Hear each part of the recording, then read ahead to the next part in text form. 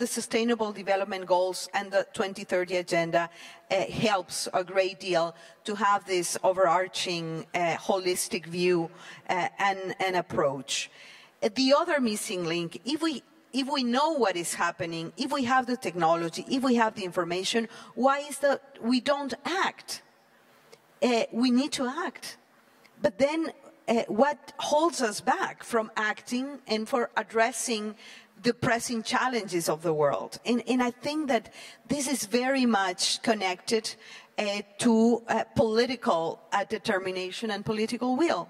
But then how you qualify political will, it's, it's a very difficult issue.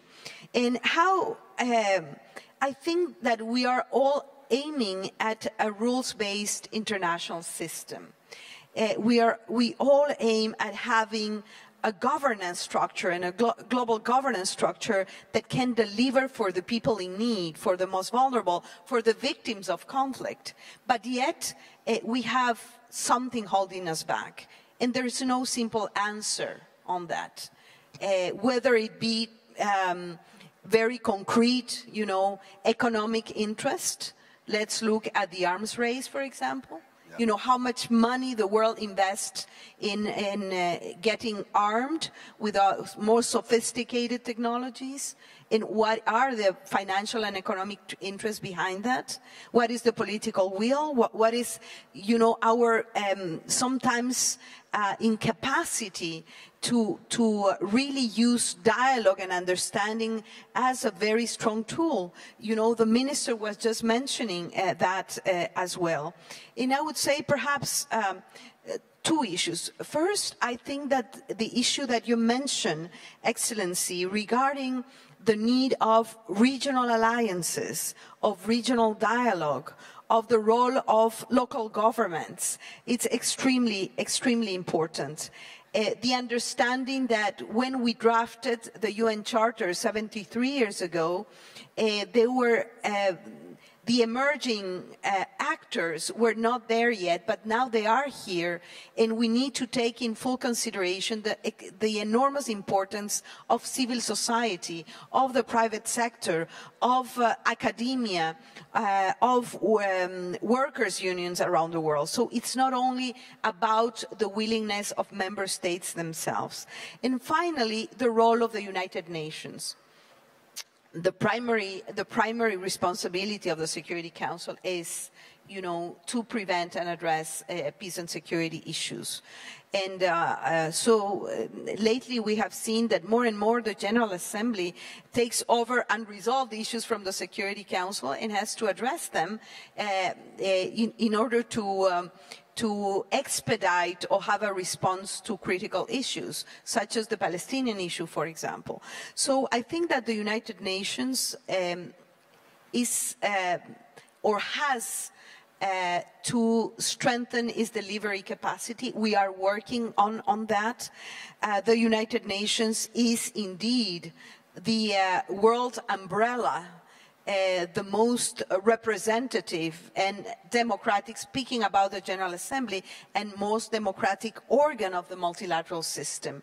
I think we need to give greater authority to this Parliament of Humanity the General Assembly is the Parliament of Humanity, is the place where we do norm setting for international law, and it has to really regain uh, power and force. And uh, we need to also have greater balance between the power of the Security Council our Parliament of Humanity, which is the General Assembly, and our Social and Economic Council. We also need uh, to implement uh, the very ambitious and structural reform process the United Nations is undergoing. That's why I, when I selected a theme for this year's General Assembly, I, I was very um, uh, very pleased to come up with this phrase, making the United Nations more relevant to all our organization needs to be more relevant to the people we serve. We need to be closer to the people we serve, and we need to bring the people we serve closer uh, to the United Nations. So there are no easy feats, no easy answers, but I think that the multilateral system and a rules-based uh, international uh, governance system is what we need, even in difficult times.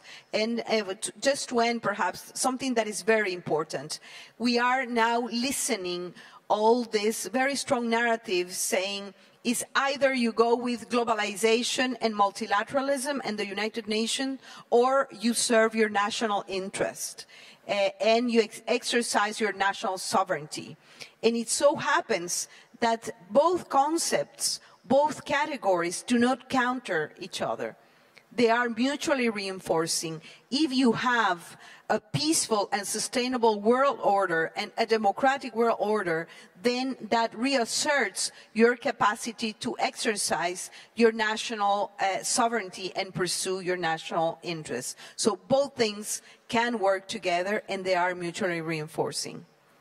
Thank you very much. Um, I want to just let our audience know that in about 10 minutes or less, um, after the two other panelists have had a chance to speak, uh, we will turn to you uh, for your questions and comments. So uh, prepare yourselves, if you would, mentally.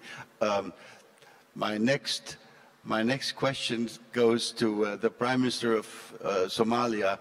I'd just like to invite you to share a few thoughts about how you, from a war-torn country and as a as a former immigrant um, in, in Norway, how you see um, the global situation and what should happen in order not to have cases like your own country again, which suffered for so many years so terribly from this awful civil war situation. Mr. Prime Minister. Uh, thank you. Uh, very good question.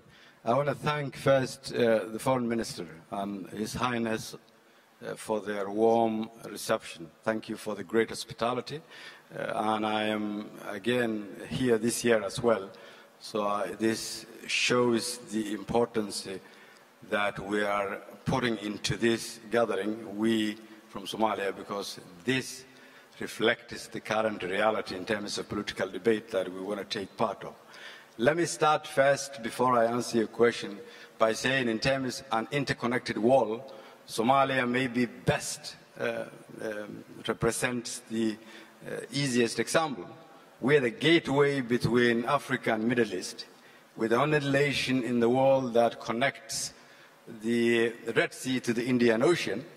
Our neighbors are Somalis to the side of Ethiopia because you have seven million Somalis in Ethiopia. Djibouti, they are most of them Somalians, and then you have uh, four to five million Somalis maybe uh, in Kenya. That places us in a strategic location. Uh, on top of that, people see Somalia as a war-torn nation, but in terms of a potentiality from resources and economic potentiality, on agriculture, on fisheries, on uh, geographical location in terms of strategic location, on potential oil and gas and minerals and what have you, and our people who are now living globally, uh, gives and puts Somalia in a strategic location in that aspect. Now, in order for us to maintain the progress we've made so far, uh, we cannot do that unless we work with our neighbors, either they are in Ethiopia or in Kenya or in Djibouti, because our progress is interlinked uh, with their progress. Now, how do we uh, intend to carry that forward? Uh, let's take, for example, the traditional relationship we've had with Ethiopia and the relationship we now have with Ethiopia. Our thinking is as follows. There are seven million Somalis, originally Somalis, who live in Ethiopia, who are Somali Ethiopians. And if we don't have good relationship with Ethiopia, it actually in reality means not having good relationship with Somalis. Second, they represent uh, the biggest market we have as a potential business partner in the future, being 100 million uh, people. Uh, three, the only way we can have border security is if we have a, a strong relationship uh, with, with Ethiopia. Look at the case of Kenya. Our business is 100% interlinked with Kenya. Our economic growth, economic development, and sustainability in terms of security. Now, investing in Somalia means in reality investing in the region. Bringing about stability in Somalia means bringing about stability in the region. How do we prevent crises like the ones that we've had in Somalia for the past 20 or 30 years? It again comes back to the reality of how do we invest uh, as uh, global leaders. Uh, Somalia today stands in a position where we've made progress on political formation, on economic growth, on security. But the issue is that the world has been focusing on terrorism and how to fight terrorism in nations like Somalia. You cannot defeat terrorism through military means alone. You defeat them through investing in political processes, through creating jobs, through fighting corruption, through inclusive politics where women, youth, vulnerable groups are empowered, through putting systems where people's hope and aspirations are seen through systems that they can recognize. How does, therefore, the world we live in today reflect the current realities? And why are we seeing new alliances made that are, are, coming, are, are, are being made? The first, I think, question we need to look into how can we address the growing unilateralism and protectionism policies that are being formed globally? How do we address the question of competition that is becoming what is replacing cooperation? How do we again find a solution to the real reality of that? Is today's multilateral institutions, either being the UN Security Council, do they reflect the current world structure? Are they able to cater for the challenges we're facing? These are questions that we will need to answer. And how do we relate to organizations like the African Union that are becoming increasingly important, and how do we put emphasis into that? Finally, the biggest challenge that we see now from our end is that how do we change old narrative? People have this view, for example, of Somalia, of being a nation of piracy and terrorism, with leaders who are not able to lead their people things have changed. And our number one priority, therefore, is how do we make the world understand they shouldn't see Somalia for what it has been or what it is, but what it can be in the future so that we can contribute to the world. Thank you very much. Great. Wonderful. Thank you. So, for a final comment, initial comment, uh, let's go to Europe. Um, um, Mr. Foreign Minister, uh, my own view has been for a long time that our organization, the European Union, hasn't been performing uh, in the way it should perform to defend and uh, represent the interests of 500 million people. Where was the EU in the Syrian conflict, for example? Um, uh, where do we exercise the role that we could exercise with our economic power uh, in uh, efforts to resolve conflicts? So your country, your government, uh, you yourself are going to take the helm of the EU in a few weeks. So uh, share with us, if you could, your view as how you want to take the European Union forward in these six months, which are, I think, going to be hugely important when you think of what's going to happen in the next six months in Europe. Brexit is a disruption. Uh, we have a whole number of other issues. I'm not going to uh, bore the audience with it. So uh, enormous challenges for the European Union. Mr. Minister.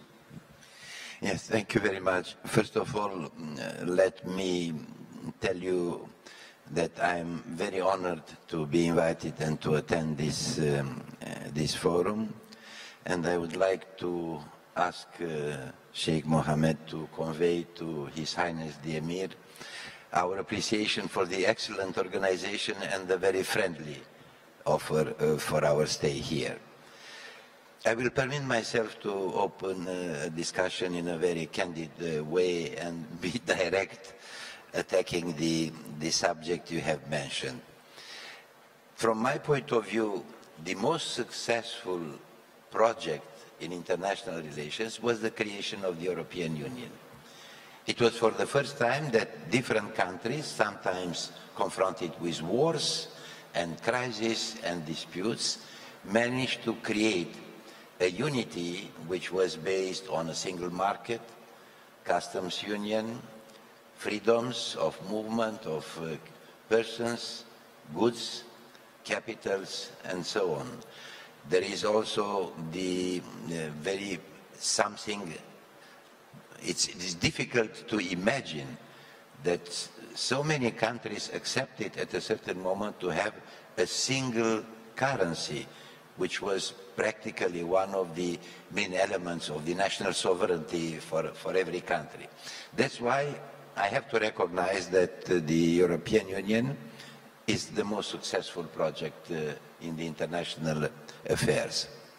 But we are realizing every day that we can't do uh, a lot of things without a strong relationship with our transatlantic partners, with our partners from the East, with our partners from the West. We should not look at the European Union as a castle, a fortified castle with great walls around us. We are depending very much on our partners, as I said, be they transatlantic to the east or to the south. From this point of view, we are confronted with the same dangers challenges at the international level as the other countries. That's why the European Union should be much more interested in finding solutions for all these issues. You were referring to different specific, uh, specific situations in which the European Union did not use its real possibilities, the potential to be involved in, uh, in these issues. From this point of view, for our presidency, we announced uh, this week the priorities for our presidency.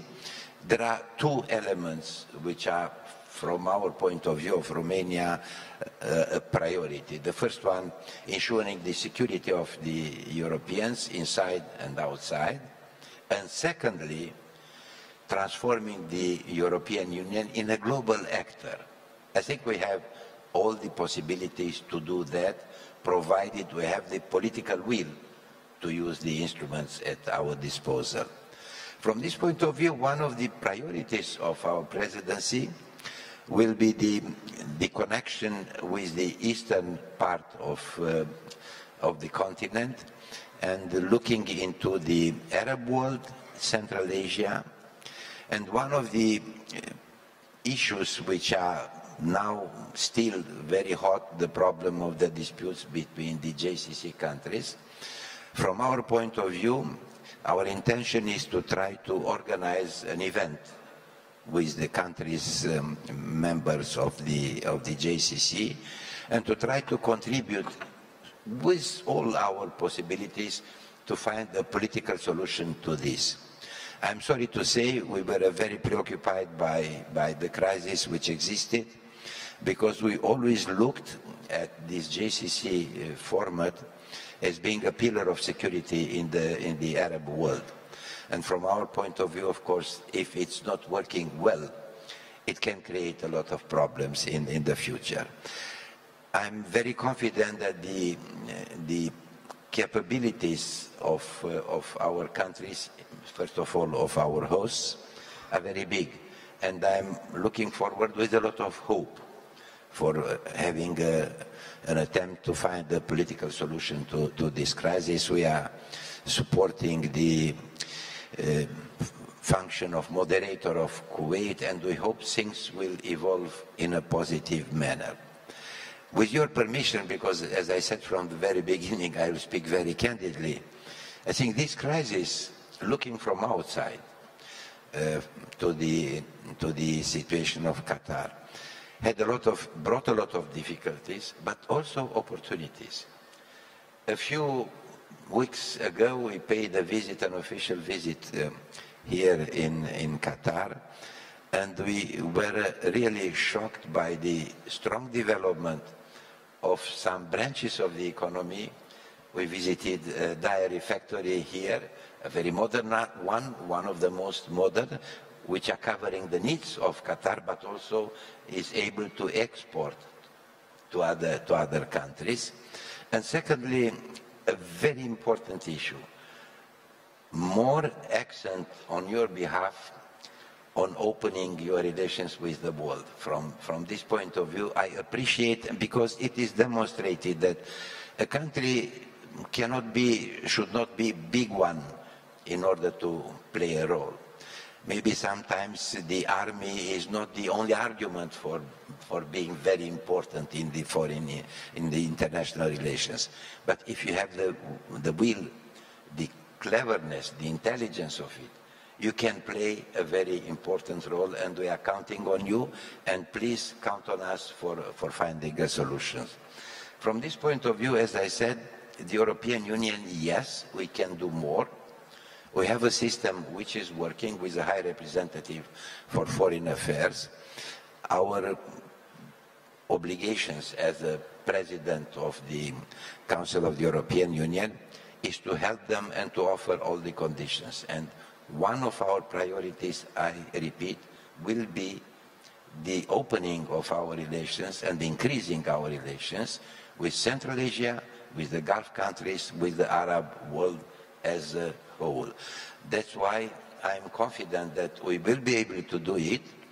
We'll have a chance to organize a meeting, a high-level meeting. Uh, I'm speaking about the level of heads of states of governments in Romania, 9th of May in Sibiu, and the main subject we will discuss there, it's an informal summit, but the main subject which will be discussed is about the future of Europe. What should Europe do in order to really play a much more important role, taking account the number of the population, the place in the international economy, and the very important uh, developments in the field of peace and security. Let me inform all the participants that one of the uh, very, from our point of view, a crucial decision of the European Union was to create a global strategy for defense and foreign affairs. And we have the instruments, and they have decided to use them, and Romania will contribute to it. Thank you. Thank you. Thank you, uh, Minister. Um, let me let me make a little advertisement. I think in mid-February in Munich, when many of you will be assembled at the Munich Security Conference, that's a good place to prepare your summit for, for May. So we'll, be, we'll, we'll try to help uh, advance this. Now, uh, we have time for just a couple of questions. We have less than 10 minutes to go. Um, I see uh, somebody here in the third row. Um, if you could please uh, grab a microphone and and let us know whether you have a question to the entire panel or to one of the panelists. And please ask a brief question. Don't give us a long speech. The gentleman here, yes. Is there a microphone?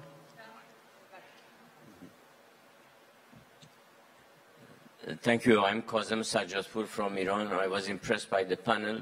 But the question that you asked in the beginning, the set of questions, one was the, one of the most important one was about the United States.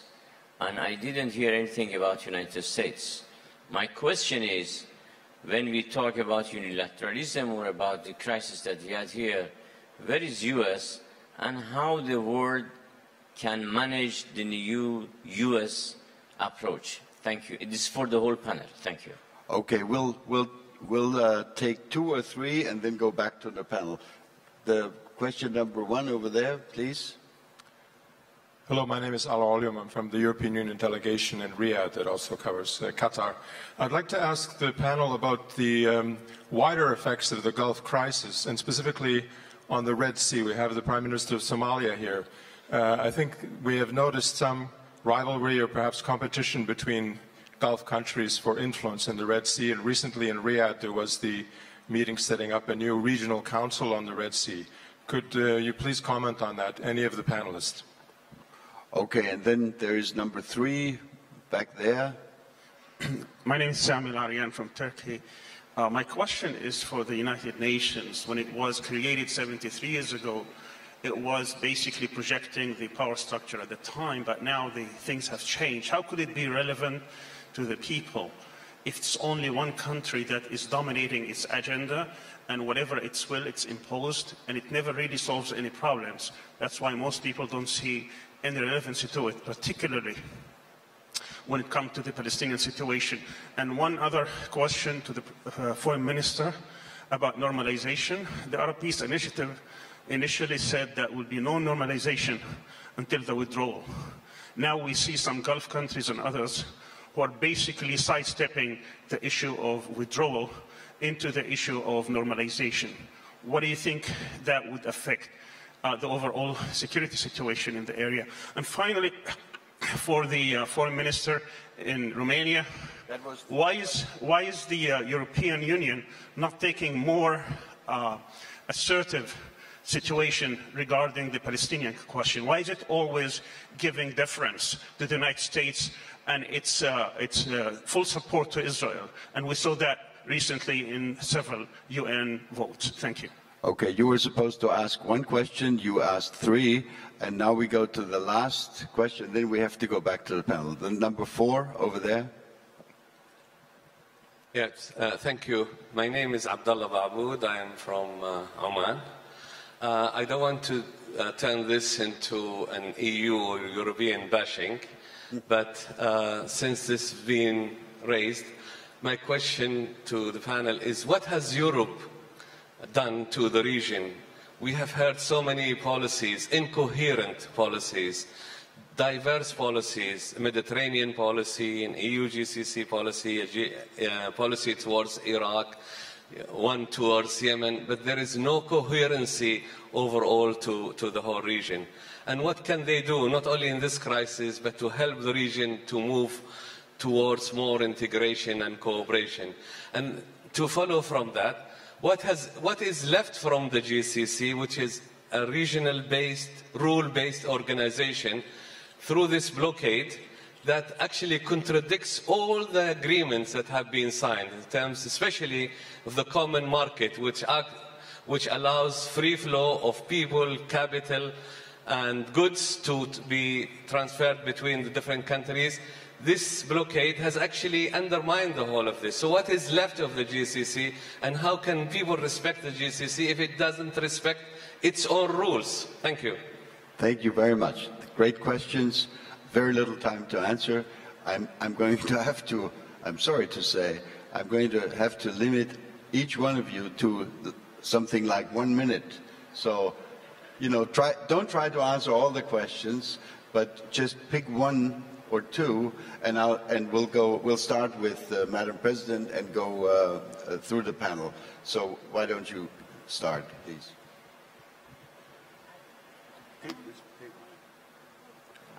This is working now. Yeah. So very quickly, in one minute, that's quite a challenge. But I will, I will answer the question that was addressed directly to the United Nations.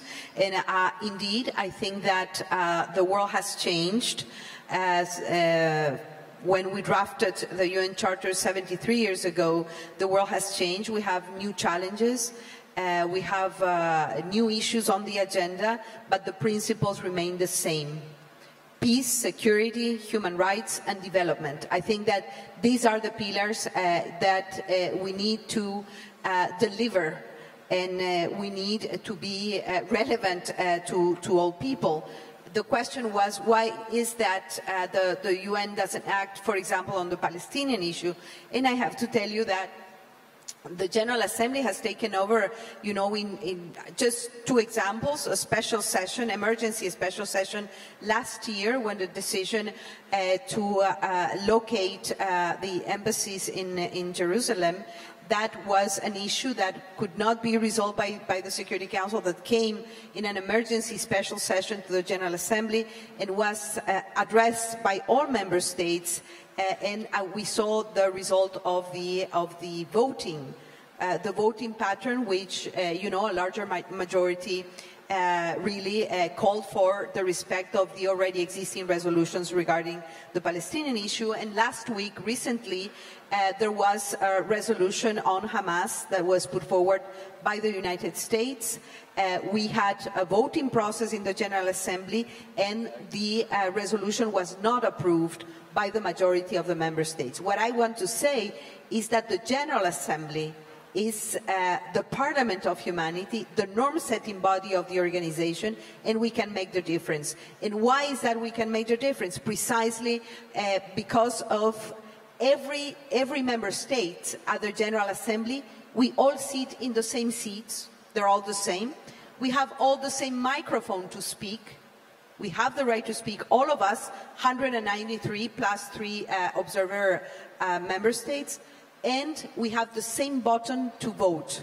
So this parliament of humanity has to deliver better, of course. We are in a process of revitalizing the work of the General Assembly, but it is indeed the most democratic body. And they have been several gains and several achievements of the multilateral system. I don't have the time to go through them, but just think, uh, you know, climate change, think the sustainable development goals, uh, international treaties on disarmament, uh, the conventions, uh, the, uh, the treaty bodies for human rights, the conventions on persons with disabilities, etc. You name it. Uh, there are a list of achievements, but sometimes we tend to focus on the shortcomings and the challenges. And I think I'm fully, fully committed to making the United Nations more relevant to the people we serve. Thank you. Thank you, Madam President. We're rapidly running out of time, Mr. Foreign Minister. Well, uh, thank you very much. I, uh, I hope I can cover uh, all the questions, but I know that we are running out of time. Just uh, two, I think, a quick comment. Uh, one on, on the Middle East uh, and the Arab Peace Initiative, and the other one on the GCC agreement, I think. these are, are the more relevant to us here. regarding the Arab Peace Initiative, this is an initiative which is supported by all the Arab countries, which is requiring uh, the recognition of uh, the state of Israel in exchange of their full withdrawal from all the 1967 uh, lands and territories of, of the Palestinian. Now, uh, since the Arab Peace Initiative being laid, uh, there is no breakthrough uh, in, in, in, in the negotiations. There is no any movement and this doesn't justify the Israelis' actions uh, uh, against the Palestinian people, against the innocent people over there, and also doesn't justify that uh, some of the Arab countries they go uh, for the normalization before uh, or overcoming the Palestinian issue. We believe that the Palestinian issue will remain at the center of, of the relation between any country in this region and Israel, despite the connections and uh, the communications which is maybe happening right now between countries. We hope that it will be used for the good of, of the peace process and will help in bringing peace at the end of the day. But the full normalization, we don't see it, it will be uh, uh, fruitful unless we get uh, what's mentioned in, in, the Arab Peace Initiative. This is for, for the lasting peace for regarding the GCC and uh, the way how this regional uh, alliance has been undermined by this crisis. This is something we totally agree with. That's why when we mentioned about regional alliances uh, uh here, that these regional alliances needs to be reshaped and to be redesigned, that new governance principles need to be in, uh, put in place. There's a full participation of all uh, members in, in shaping uh, this governance structure and should be a binding structure for all the countries. Today, GCC and the Secretariat of the GCC, they have no teeth. They have nothing. They they don't know how to resolve any issue. They don't. They they have mechanisms in place. They never trigger these mechanisms because some countries they believe those are non-binding mechanisms for them but we need to make sure that all the rules and uh, principles that we are submitting to, that is binding to everybody uh, in this region, and should have a clear dispute resolution mechanism to be put in place that all the results will be binding to hold all the countries accountable for anything they have done. Thank you. Thank you very much. Mr. Prime Minister, please try to be brief also. We are, Uh, I think they will make me uh, suffer, uh, uh, the, the organizers, because I go, go into overtime. Uh, thank you. As I've said earlier, new, new alliances uh, are happening as a result of either conflict or um, seeking economic influence or engaging in competition. Um, that said, therefore, it is very apparent now that any conflict that takes one part of the world has direct impact on other parts of the world. Uh, the issue of the GCC is impacting us politically, economically, uh, security-wise, uh, which in reality means that the world cannot stand idle and watch uh, conflicts unfold, as it will have an impact. Uh, the issue of the IMF's uh, forecast on, on economic um, slowdown, it is very important, therefore, we think of preventive strategy, which hasn't been the case. In the case of the European Union, I think there's a major role for the European Union, which they can play, and I hope now with, with uh, you taking the leadership, you, you will take that as an advantage. And in the case of Somalia, I would like to admit that the European Union is actually investing in Somalia, and they are taking a leadership role. And we see that as an example of where the European Union as an institution is functioning. Finally, the world is as good as its leaders. And if we are not able to agree on global warming or preventive strategy on poverty, then I think it is time that we uh, not solve a crisis, but come together as early stage so that we can debate all these issues. Thank you very much. The last word goes to Romania. Yes, I'll, I'll try to be um, extremely brief. There was a first question, multilateralism and bilateralism.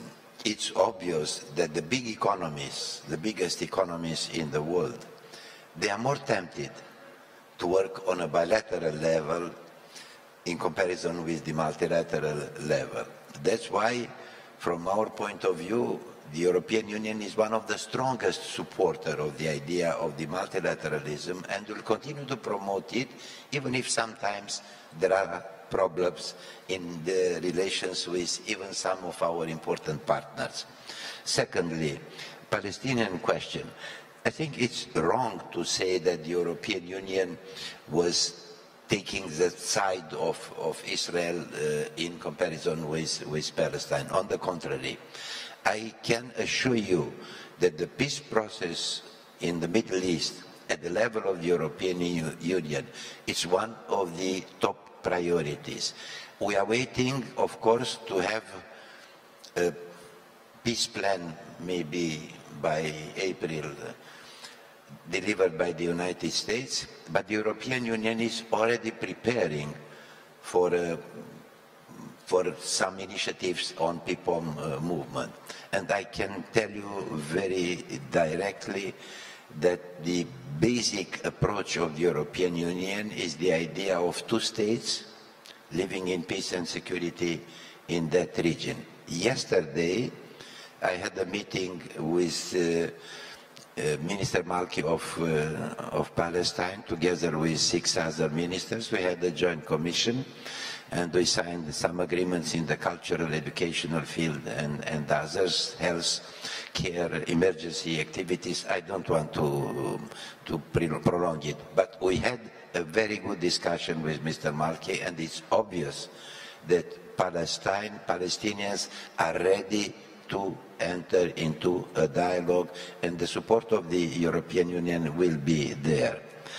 About the uh, GCC, yes, I think the, from our point of view, as I said, this, the, only, the only approach is the political negotiations, but I have to add, it has to respect the principles and rules of the international law and especially the equality is practically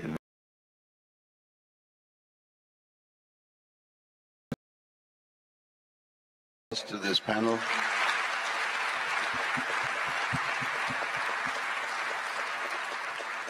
I, I want to thank all four of you uh, for these really interesting um, contributions. I think this was a quick uh, overview over some of the pressing global and regional issues. I think we could have spent another hour or more on, on this. Thank you very much for participating. I apologize to the organizers for going into a bit of overtime, but I think it was worth it. Thank you very much. And thank you to the panel for, if I can have your attention for just a moment. Thank you uh, to the panel. Thank you to the audience as well for very challenging questions. I can tell everyone wants a break. It is time for a break, but let me kind of set the table for you for what you're going to return to. Um, the UN's Under Secretary General for Counterterrorism will be here with the UN Presidential Envoy for the Global Coalition Against ISIS. So um, if everyone could take a break for about 10 minutes and please be back at 11.05. 11.05, everyone. We'll see you in just a few minutes. And our sponsors, Qatar National Bank, Qatar Petroleum, and Ooredoo. Thank you very much. See you in 10 minutes, everybody.